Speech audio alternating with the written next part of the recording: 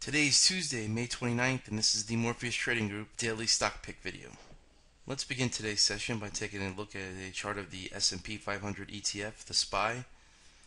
The ideal short scenario would be for the S&P to bounce into the 20-day moving average and stall in this uh, 134 to 135 area. That would produce the best risk-reward setups from a swing trading perspective, as we always like to short into a bounce when, whenever we see any stalling action. So as far as potential short entries, we have Visa V, which is bouncing to the 50 day MA on declining volume and actually closed above the 50 day MA on 524 with very light volume.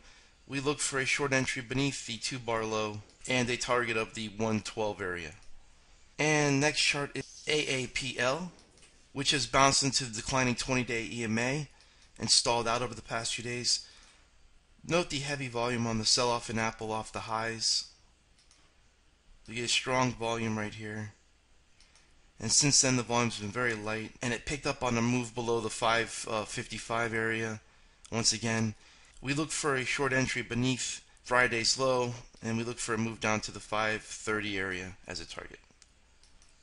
Another setup we are monitoring that we mentioned in Friday's report is McDonald's MCD. We are looking for a bounce somewhere above the 20-day EMA along with some stalling action to present us with the low risk entry point. To receive our exact entry, stop, and exit prices for the stocks discussed in this video, as well as to receive our top ranked daily picks, sign up for exclusive newsletter at morpheustrading.com.